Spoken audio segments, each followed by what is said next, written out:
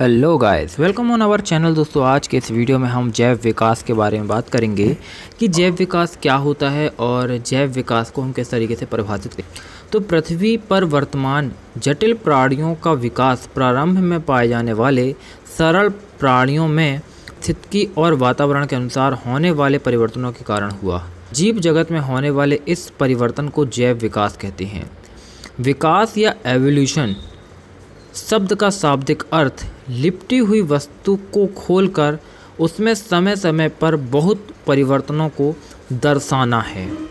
जीव विज्ञान की वह शाखा जिसके अंतर्गत जीवों की उत्पत्ति तथा उसके पूर्वजों के इतिहास तथा उसमें समय समय पर हुए क्रमिक परिवर्तनों का अध्ययन किया जाता है, जैव विकास या उद विकास कहलाता है। तो दोस्तों, यहाँ पर आप समझ गए होंगे कि जैव विकास क्या होता है। यहाँ पर यदि हम जैव विकास के सिद्धांत की बात करें तो जैव विकास की व्याख्या के लिए कई प्रकार के विचार प्रस्तुत किए गए हैं। परंतु इसमें से अधिकांश को उचित प्रमाण के अभाव पर वैज्ञानिक मान्यताएँ नहीं मिल पाई हैं।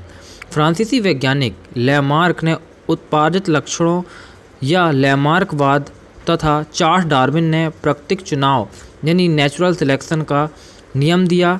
तो यहाँ पर हम बात करें यदि अलग अलग लोगों की तो उन्होंने अपने अलग अलग विचार दिए हैं। आगे हम इसके बारे में विस्तार से चर्चा करेंगे। आज के लिए बस इतना ही। मिलता है अगली वीडियो में। तब तक के लिए जय हिंद, जय भारत, वंदे मातरम।